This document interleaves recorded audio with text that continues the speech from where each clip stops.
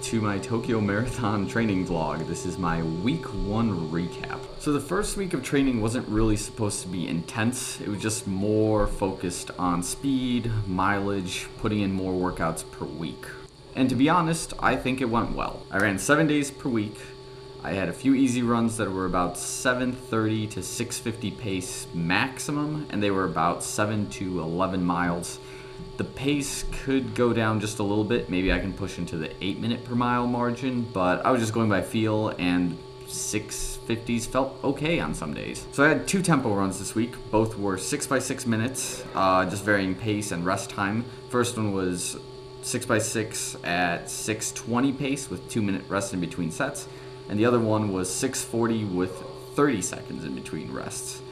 640 with 30 seconds in between rests was quite intense. My last run of the week was a long run at about 16 miles and I did it about an hour 45 hour 50 minutes. Christmas Eve was a little different. Instead of running the entire day, I decided to have a cross train day where I ran a 5k that morning, went to work, and then after work I decided to go on a pretty short bike ride. Christmas Day, I ran a 10 mile easy run and we easily had the best weather I think of any Christmas I remember in my life here in Chicago. And Christmas Day basically ended my training week. What I've learned in the past is that Christmas and New Year's time is pretty rough when it comes to putting in miles because there's a lot of traveling, there's a lot of family plans.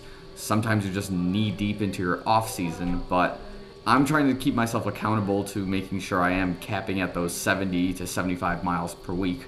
Otherwise, I do feel like I'm going to pay for it when I go to Tokyo. Speaking of which, I will get my hotels and flights booked for Tokyo ASAP, preferably before 2020 begins. So I do have some small announcements, one of them being that unless you follow me on Facebook or Instagram, I did qualify for the Chicago Marathon in 2020, which is great news. I'm excited to run it.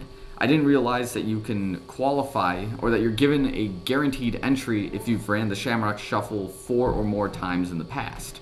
So that's how I got my qualification.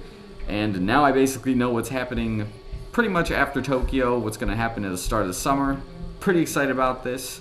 Definitely look forward to that. I will have that vlog started probably after this one. And lastly, uh, I still haven't picked my 70.3 or triathlons for 2020.